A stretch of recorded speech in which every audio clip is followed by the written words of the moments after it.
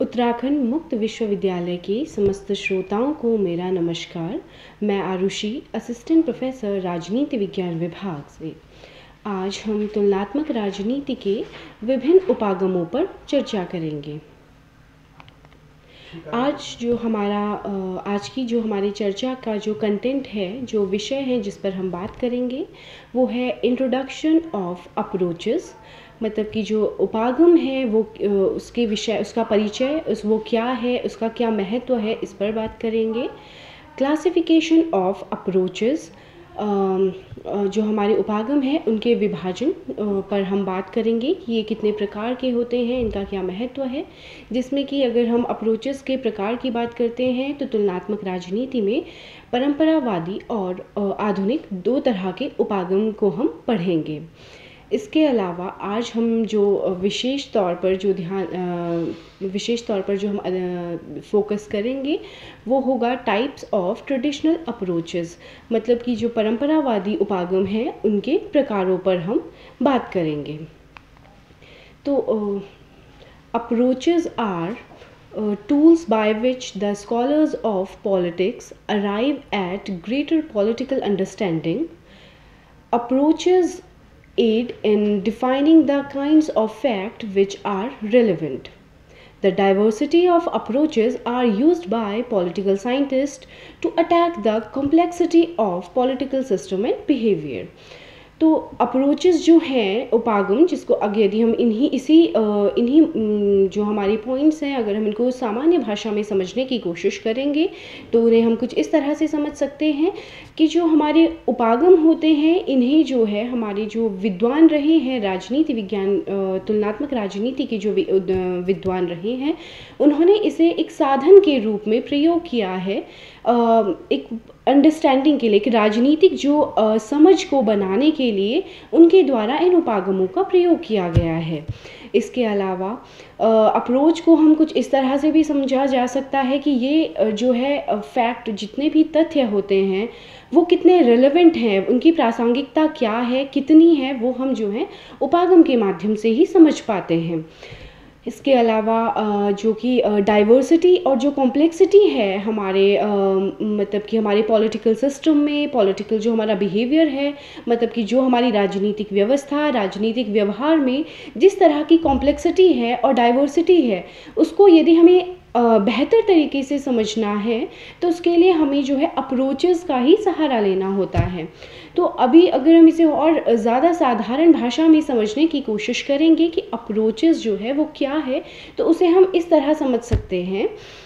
कि उपागम जो है एक तरीके से, यह एक तरीका है, या कुछ इस तरह से कहा जा सकता है कि यह एक पद्धति है।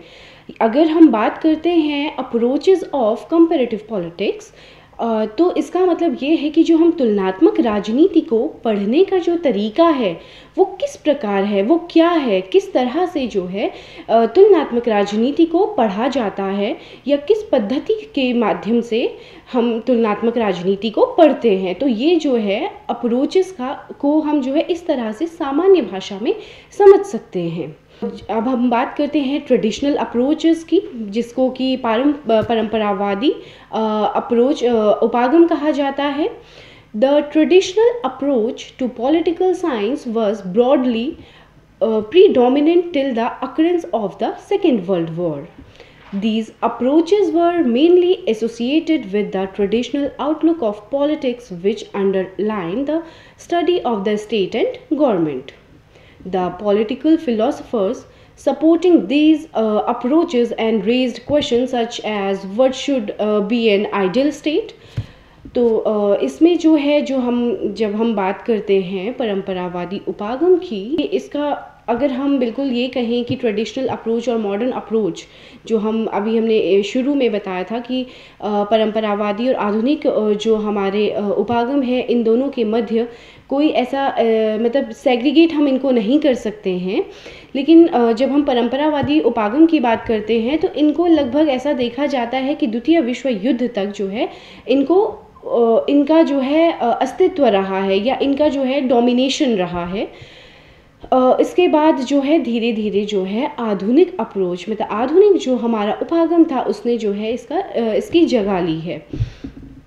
इसके अलावा हम देखते हैं कि जो हमारा परंपरावादी उपागम रहा है, यहाँ पर जितने भी हमारे इंस्टीट्यूशंस रहे हैं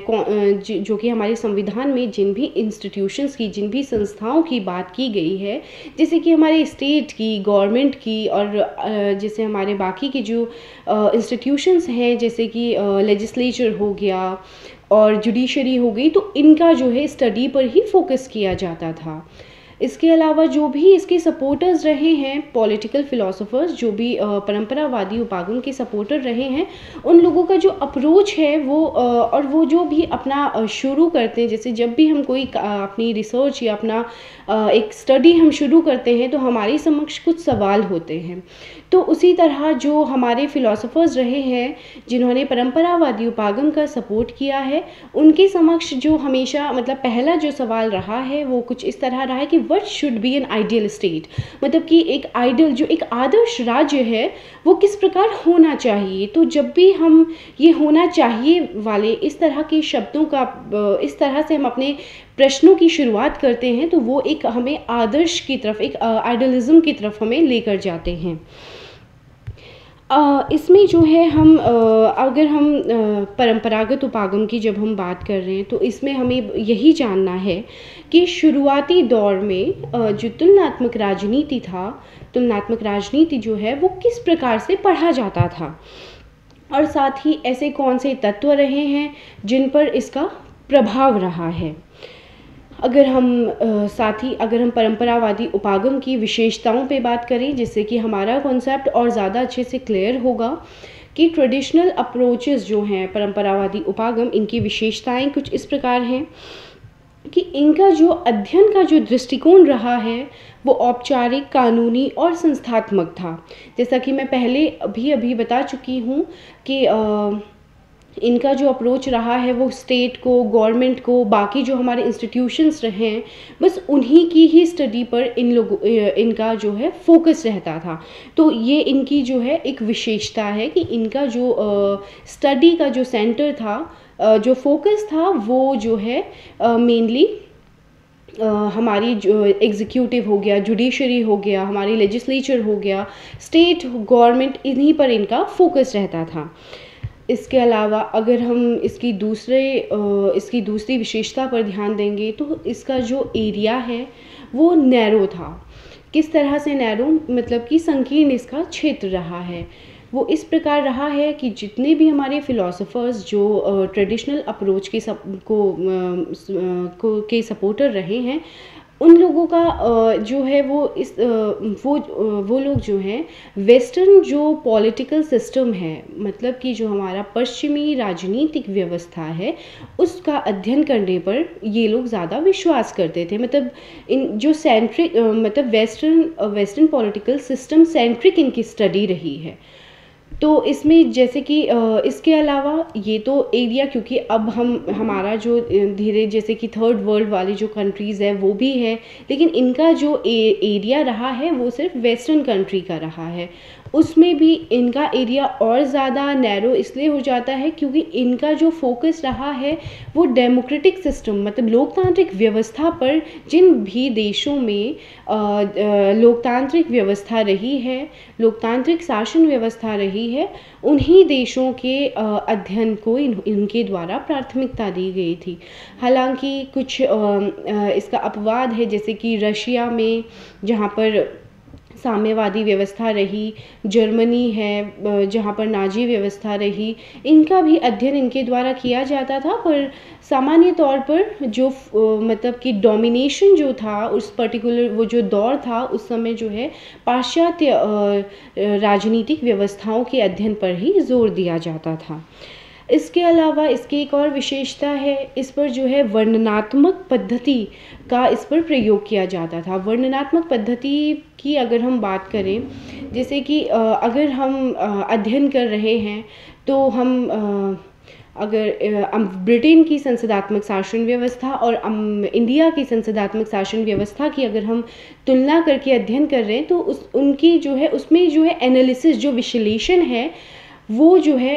हमें नहीं दिखेगा। वहाँ पर सिर्फ़ ये बता दिया जाएगा कि किस प्रकार, जो समानता है, ब्रिटिश ब्रिटिश जो संसदात्मक शासन व्यवस्था है, वहाँ की विशेषताएँ ये हैं, इस प्रकार की उनकी समानताएँ हैं इंडिया की जो संसदात्मक शासन व्यवस्था है, उसकी समानताएँ ये ये हैं। तो इस प्रकार मतलब सिर्फ़ उनको, उनका समानता और असमानताओं का सिर्फ़ वर्णन कर दिया जाता है। उसके अलावा इस बात पर ज़ोर नहीं दिया जाएगा कि अगर समान समान व्यवस्था होने के बावजूद, क्या कारण है कि इनमें जो है एक अंतर जो हमें नज़र आ रहा है, वो क्यों आ रहा है? तो ये एक विश्लेषण का विषय है तो ये जो विषय है, वो यहाँ पर मिसिंग होता है। तो इस उपागम से जो संबंधित विद्वान रहे हैं, वो बारकर रहे हैं, लास्की, फ्रेडरिक, फाइनर, ये लोग जो हैं, इसको इस अप्रोच के समर्थक रहे हैं। ये हमारे टाइप्स ऑफ़ ट्रेडिशनल अप्रोचेस हैं, जिसमें हम देख सकते हैं फ़िलासफ़िकल अप्रोच है, और हमारा लीगल अप्रोच है इंस्टीट्यूशनल अप्रोच है, और हिस्टोरिकल अप्रोच है। फ़िलासफ़िकल अप्रोच की जब हम बात करते हैं तो इसे हिंदी में जो है वो दार्शनिक उपागम कहा जाता है। Being one of the oldest approach it's first feature is that it made thinker to fly in the heights of imagination to find out the truth and knowledge it is normative in character and believes in building norms और certain standards It followed the deductive method where researcher has his own value and uh, predetermined notions. तो ये है दार्शनिक उपागम, जिसमें ये है कि हम अपनी इसमें जो है ज़्यादातर जो है कल्पनाओं के माध्यम से ही एक नॉलेज मतलब जो हमारा ज्ञान है और सत्य की खोज की जाती है। जैसे कि इसका हम एग्ज़ाम्पल के तौर पर ये देख सकते हैं कि प्लेटो का जो प्लेटो ने जो अपने आदर्श राज्य की कल्पना की है, वो कुछ इसी श्रेणी में आता है। और ये जो हमारे थॉमस मूर रहे हैं, इन्होंने जो यूटोपियन राज्य की जो कल्पना की थी, वो भी इसी में शामिल, उसे भी इसी में शामिल किया जा सकता है। इसके अतिरिक्त हम देखेंगे रूसों की जो सामान्य इच्छा का सिद्धांत हो, चाहे सॉरी लॉब्स का प्राकृतिक अधिकारों का सिद्धांत हो तो उन्होंने इन सभी ये जो इन इन लोगों ने अपने इन सिद्धांतों में लगभग दार्शनिक जो पद्धति है, इसी को अपनाया है। और इसके बाद हम बात करेंगे इंस्टीट्यूशनल अप्रोच की। इंस्टीट्यूशनल अप्रोच है in this approach the formal institutions of government like legislature executive and judiciary provide the subject matter of comparison in terms of their powers functions role and mutual relations. In uh, it involves a relatively detailed descriptions of analysis followed by an attempt to clarify which details are similar or different. तो institutional जो approach है, जिसे हिंदी में हम संस्थात्मक उपागम भी कहते हैं, इसमें जो है विशेष तौर पर सरकार की जो संस्थाएँ हैं, जैसे कि हमारी विधायिका हो गई, कार्यपालिका हो गई, न्यायपालिका हो गई, इन्हीं का जो है, इन्हीं के अध्ययन पर, इन्हीं के कंपैरिजन पर फोकस किया जाता रहा है जैसे कि हमने या विभिन्न जो कार्यपालिकाएँ हैं, उनके विभिन्न देशों में जो कार्यपालिकाएँ हैं जैसे हमने अमेरिका की जो कार्यपालिका है, ब्रिटेन की कार्यपालिका है इंडिया, भारत की कार्यपालिका है, इनके, इनका जो है हमने कंपैरिजन कर लिया, इनकी पावर्स का हमने कंपैरिजन कर लिया, ये किस प्रकार से काम करती हैं, इनकी भूमिकाएँ किस प्रकार की हैं तो इसमें जो है इसी अध्ययन पर ज़ोर दिया जाता रहा है। सेम इसी प्रकार से जो है जुडिशरी जो है, जैसे कि हमारी न्यायपालिका है। वो भारत में न्यायपालिका किस प्रकार से काम कर रही है? अमेरिका की जो न्यायपालिका है, वो किस प्रकार काम करती है? ब्रिटेन की न्यायपालिका किस प्रकार काम करती हैं? इनकी जो फ़ंक्शन है फ़ंक्शंस हैं, वो किस प्रकार है? इनकी भूमिकाएँ जो हैं, वो किस प्रकार हैं? तो इनका जो फोकस रहा है, वो इसी प्रकार के जो इंस्टीट्यूशंस हैं, हमारी गवर्नमेंट जो सरकारी जो हमारी संस्थाएँ हैं, उन्हीं की जो है तुलना पर इनका फोकस रहा है। नेक्स्ट हम बात करेंगे लीगल अप्रोच की this approach treats the state primarily as an organisation for the creation and enforcement of law here the study of politics is integrally bound up with the legal uh, process of the country and the existence of a harmonious state of liberty and equality is earmarked by the glorious name of the rule of law तो ये है हमारा कानूनी उपागम। कानूनी उपागम के बाद हम बात करेंगे हमारे ऐतिहासिक उपागम की जिसे कि हिस्टोरिकल अप्रोच कहा जाता है। This approach emerge in the last quarter of nineteen century scholars believes uh, that uh, that through the study of historical background they could have a better and close insight into the working of institutions and political phenomena thus in order to understand political theory, we uh, must bear in mind the time, the place, and circumstances in which it evolved. तो जो historical approach है उसमें वो इस मान्यता पर आधारित है कि जो राजनीतिक संस्थाएँ हैं उनका निर्माण नहीं किया जाता है बल्कि वे जो हैं वो विकास का परिणाम होती हैं। इसमें जो कहा गया है वो कुछ इस प्रकार से है कि जो हमारा